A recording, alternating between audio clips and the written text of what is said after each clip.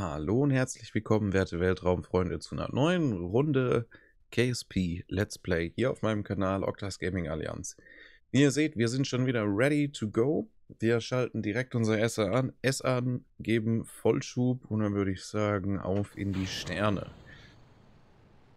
Wir fliegen natürlich wieder standardmäßig unseren schön angepassten Orbit, den wir haben, direkt hier an der 90 Grad Richtung entlang. Schön entspannt. Und können in der Zwischenzeit jetzt direkt schon mal schauen, aha, hier oben ist unser Habitationsmodul. Wir setzen direkt mal unser Ziel, dass wir auch schon wissen, wo wir sind. Und wir sind leider ein bisschen früh dran. Ähm, das Ziel ist gerade ziemlich straight über uns. Das heißt, wir sind äh, leider nicht die Verfolger im ersten Moment. Heißt für uns dann mit größter Wahrscheinlichkeit, dass wir ein bisschen länger in unserem Transferorbit verweilen müssen. Aber ich glaube, die Zeit kriegen wir doch relativ gut totgeschlagen. Unser Flug ist auf jeden Fall schon mal in eine gute Richtung. Wir können jetzt auch langsam mal ein bisschen mehr kippen. Zwar ein bisschen viel mehr. So. Dann werden die zwei Ka Kanalien hier mal losgeschossen. Und wir müssen schauen, dass wir jetzt nicht zu sehr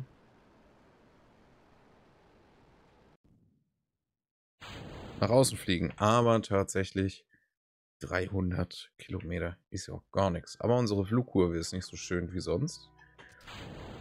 Aber das ist ja auch nicht so schlimm, weil wir müssen ja auch mal so klarkommen mit vielleicht ein klein wenig Problemen. Ne? Die soll es ja schließlich auch mal geben. Eine Sache, wir haben jetzt hier oben im Moment elektrischen Strom, der relativ zügig flöten geht. Den muss ich jetzt pausieren, weil sonst kriegen wir später hier wenn wir am Andocken sind, ein Problem, weil je länger wir jetzt unterwegs sind, haben wir später eventuell keinen Strom mehr.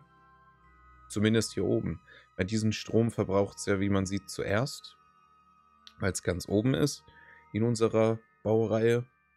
Und das könnte natürlich dann zu Problemen führen, weil ohne Strom lässt sich hier ja auch nichts steuern. Na? So, und wir haben hier jetzt unseren Bob, unseren Bill und unsere Valentina, die diesen Flug bestreiten. Wir müssen jetzt auf jeden Fall mal ein Stückchen vorspulen, dass die auch relativ zügig an ihr Ziel kommen. Na, wir wollen es denen ja nicht hier zu anstrengend gestalten. Wir fügen hier jetzt kurz ein Manöver hinzu. Setzen das einmal um. Man sieht schon, wir sind viel zu spät dran. Aber okay. Kein Problem. Wir bleiben auf unserem Manöverpunkt. Haben danach einen schönen Orbit, der zwar ein bisschen mit der Inklination hinkt, aber das kriegen wir auch noch irgendwie gebacken.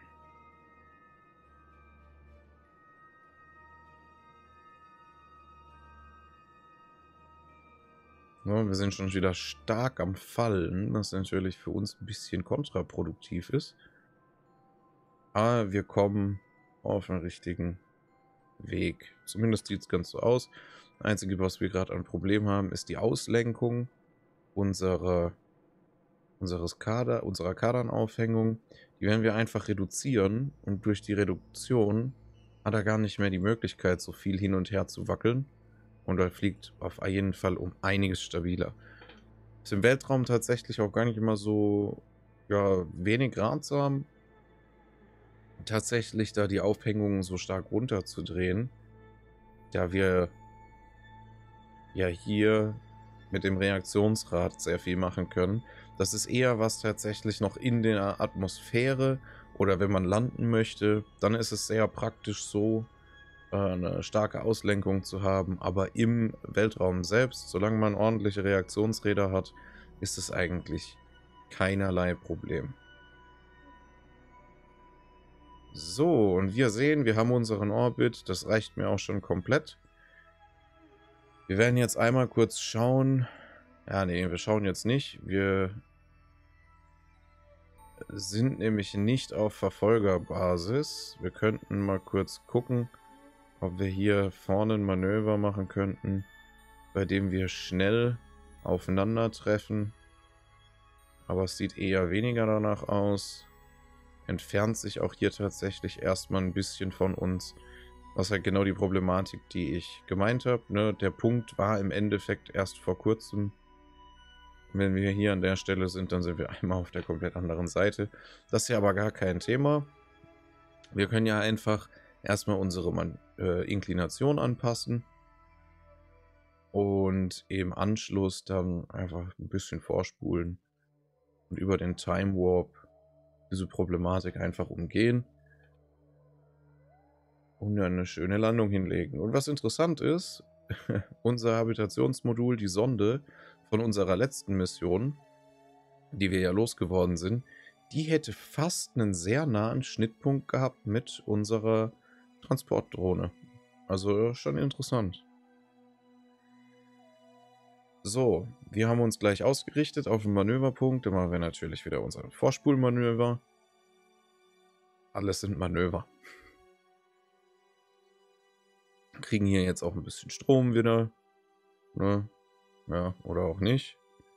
Bleiben einfach nur ziemlich genau auf Null die ganze Zeit. Aber das ist auch okay. So, jetzt haben wir noch eine knappe Minute. Das heißt, wir können auf jeden Fall nochmal per Hand ein bisschen vorspulen, weil wir brauchen hier ja nicht ewig auf das Vergehen von Zeit warten. Glücklicherweise.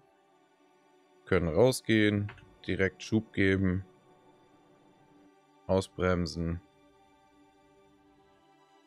und um 0,1 daneben liegen, aber ich glaube, das geht voll klar. Ja, tut's. So. Dann haben wir jetzt natürlich die Aufgabe, hier einmal ein Manöver so ein bisschen vorzuplanen. Da, ich würde sagen, das ist genug Platz, den wir da ausgesucht haben.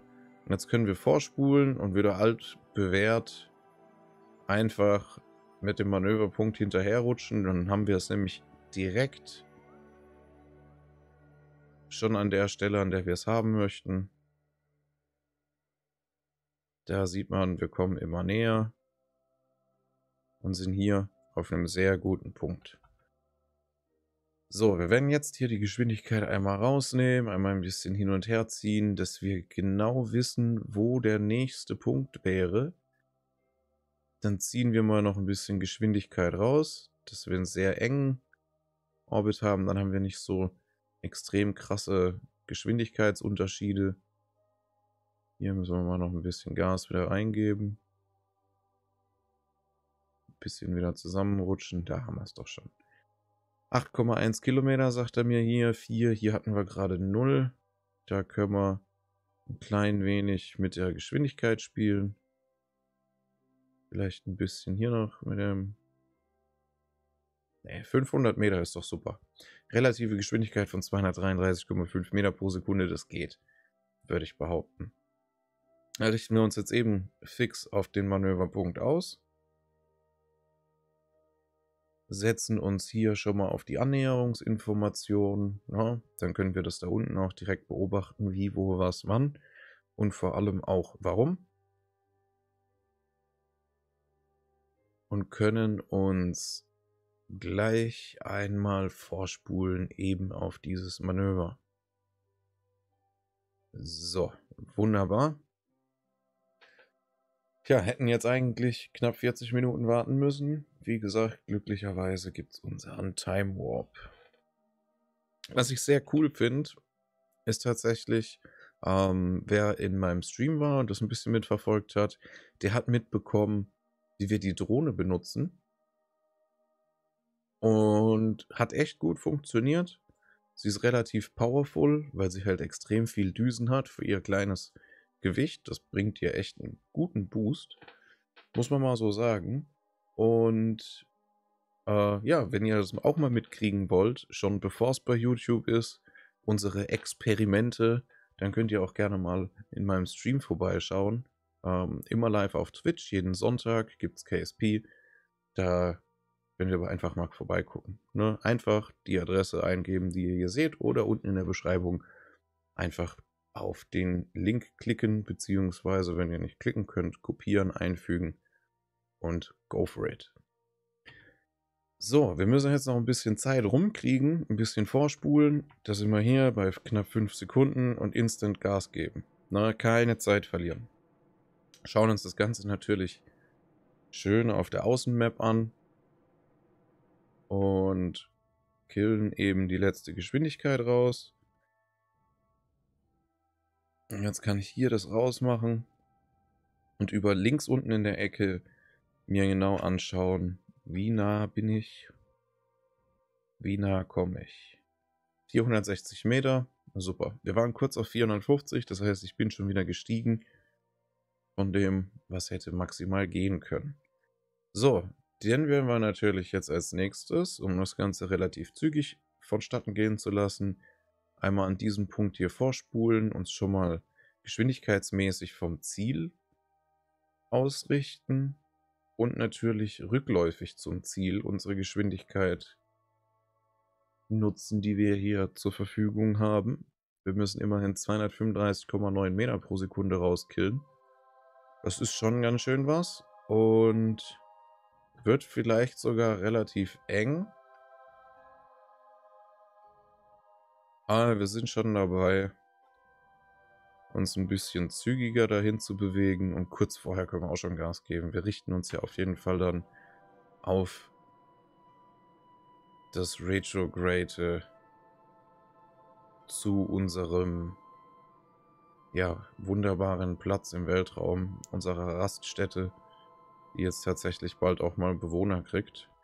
So, wir können uns ja immer noch ein bisschen drauf zubewegen. Na, 400 Meter ist ja das, wo, wo wir drankommen. Da können wir auf jeden Fall ein bisschen später abbremsen. Hier die letzten 40 Meter können wir hier kurz vorm Ziel schon rausbremsen. Dann sind wir auch relativ zügig da. Man sieht schon, oh, die Geschwindigkeit ist vorbei. Wir sind jetzt mittlerweile sogar schon auf einem Kurs, der uns ein bisschen wieder entfernt. Wir sind leicht schneller. 0,4 Meter pro Sekunde ist halt schon doch eine Geschwindigkeit. Man sieht, wie die Meter tatsächlich ansteigen. Ah, wir sind ja gleich wieder auf direktem Wege unterwegs auf unser Ziel. Ich mache jetzt auch mal das RFS an.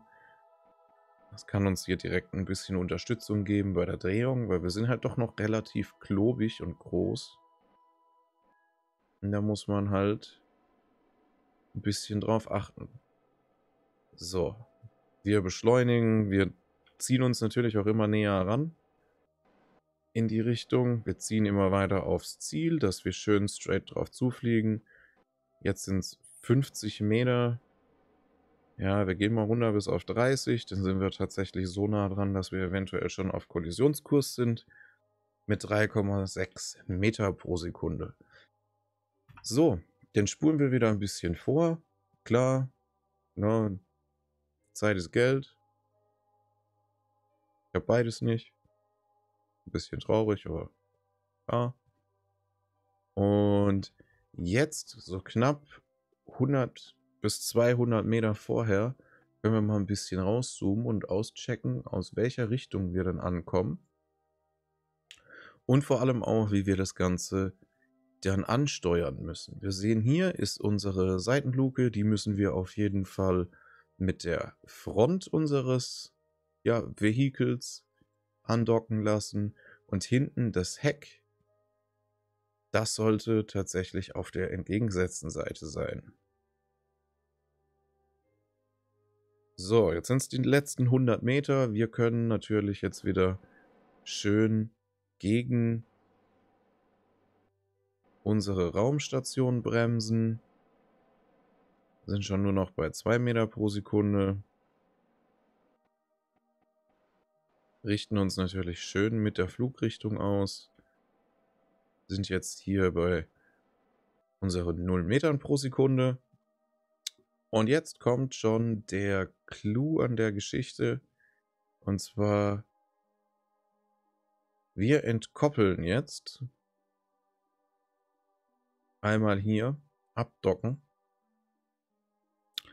Übernehmen nicht die Raumstation, das war tatsächlich eher nicht der Plan. Übernehmen jetzt hier unsere, ja, unsere Kapsel. Dann wird einmal hier noch das Stufenanordnen ein bisschen durchgegangen, weil das ein bisschen verquer war. Und wir lösen jetzt erstmal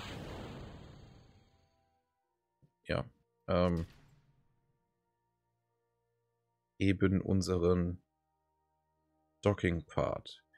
So, als nächstes setzen wir hier diese Undock-Luke als unser Ziel. Wir steuern natürlich von hier aus, richten uns per SAS aufs Ziel aus und geben natürlich erstmal ein bisschen Gas. Man sieht, wir sind da relativ gut aufgestellt mit der Menge an Druck, die unser RFS hier hat. Fliegen jetzt mit 0,5 Metern pro Sekunde erstmal drauf zu und dann müssen wir so ein bisschen zur Seite switchen. Und jetzt negieren wir erstmal unsere Geschwindigkeit. Dann wird hier so ein bisschen die Richtung angegeben. Man sieht schon, in welche Richtung wir uns da bewegen. Wir sind immer noch schön ausgerichtet. Jetzt sieht man auch richtig schön, wie sich unser Raumfahrzeug mitbewegt. Und ich werde jetzt auch hier mal schauen, wo denn genau unser Punkt ist, weil ich kann ja jetzt hier über diesen Punkt ansagen, wo es hingehen soll.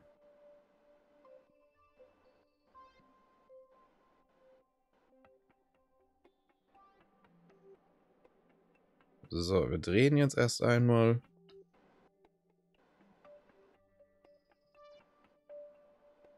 Und dann müssen wir eben dieses Kreuz an die richtige Stelle bringen. Wir sehen schon, wir kommen immer weiter drauf zu.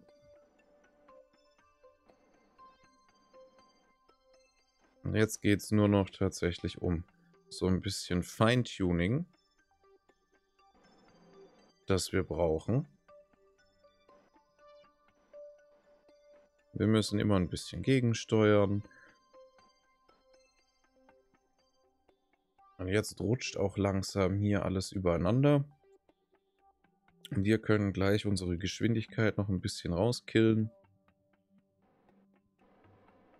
Auf 0,5 Meter pro Sekunde. So. Dann sind wir leicht versetzt drüber. Aber das halb so wild.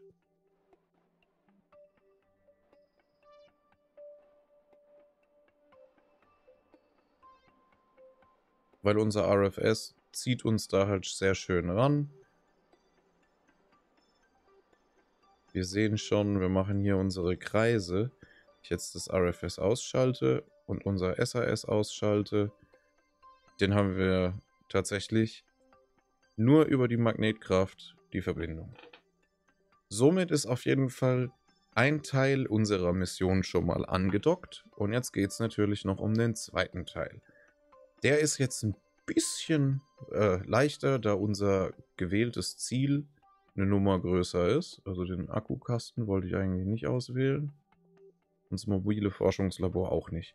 Okay, dann setzen wir jetzt erstmal kurz unser mobiles Forschungslabor als Ziel, wollte ich gerade sagen. Oder klappt nicht so ganz. Wir schieben uns jetzt erstmal wieder in die richtige Richtung und bewegen uns aufs Ziel zu, weil wie man vielleicht sieht, sind wir jetzt im Moment gerade 100 Meter von unserem eigentlichen Ziel entfernt.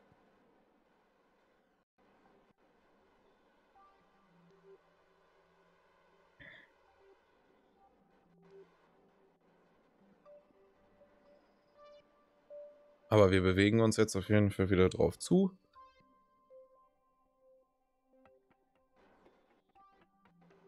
Richten uns jetzt einmal dementsprechend auf unsere Flugrichtung aus. Und nutzen dann wieder unser RFS, um gegen die Flugrichtung zu bremsen. Man sieht schon, es ist ein bisschen ein Hickhack, aber das geht schon. Damit machen wir unser RFS wieder aus, um unsere, naja, Richtung nicht unbedingt zu verlieren. Und jetzt geht es dann darum, dass wir unsere Richtung einmal in so einem Bogen am besten um unsere Raumstation herum bewegen. Wo der Bogen entlang geht, ist tatsächlich sogar ziemlich egal. Aber man sieht, wir haben Probleme aufgrund unseres Hinterns. Deswegen werden wir an dieser Stelle hier unser Modul abdocken und werden jetzt nur mit unserer Drohne bewaffnet den Weg in Richtung unseres Ziels, das wir uns jetzt hier nehmen, die Andock-Luke, ausrichten und können uns jetzt einmal hier mitdrehen. Wie rum wir tatsächlich die Drohne anbauen, ist relativ egal. Aber man sieht schon, wir schleudern uns hier schon fast selbst weg. Aber das ist gar nicht so schlecht, weil wir können jetzt einfach die Richtung so ein bisschen wechseln. Und drehen uns schon fast vollständig und vollautomatisch entgegen der Zielrichtung. Was wir jetzt machen mit rückläufig. So ein richtiger schöner Spin. Und den Rest können wir jetzt über unser RFS wieder rauskillen. Können uns auf das Ziel einfach ausrichten. Wir müssen jetzt nur gucken, dass wir uns so ein bisschen ordentlicher ausrichten. Und dann können wir uns einfach mit ein paar Drücken können wir uns nach oben bewegen. Man sieht schon, wir fliegen wieder so einen Bogen.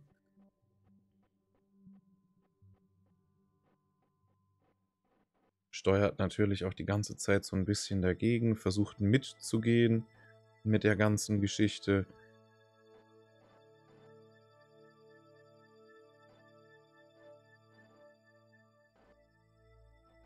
Ja, wir bewegen uns noch ein Stückchen drüber, dass wir tatsächlich ein bisschen mehr in Line sind.